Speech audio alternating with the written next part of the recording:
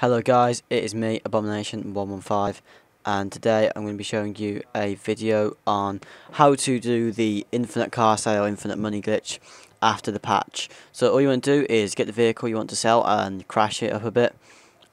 Then what you want to do is go to the, uh, the Santos Customs. You want to drive straight in and, uh, yeah, you want to drive in and you want to set your settings uh, to spawn at last location make sure you've done that.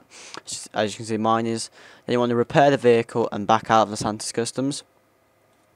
Now if you look in the bottom left or bottom right can't remember which one it is uh, you will see uh, bottom it's the bottom right you'll see a spinny gold thing that means it's auto saving right there.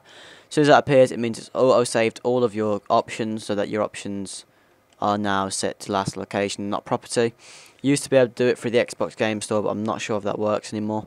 What I'm to do is it's literally the same as it used to be. Go in, uh, sell it, start, online, swap character. You're going to get put up in the clouds and you will swap character.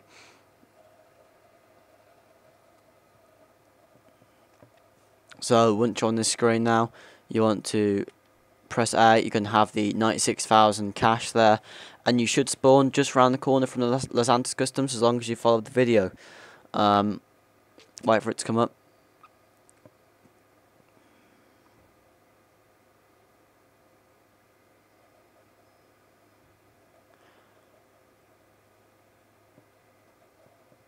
Alright.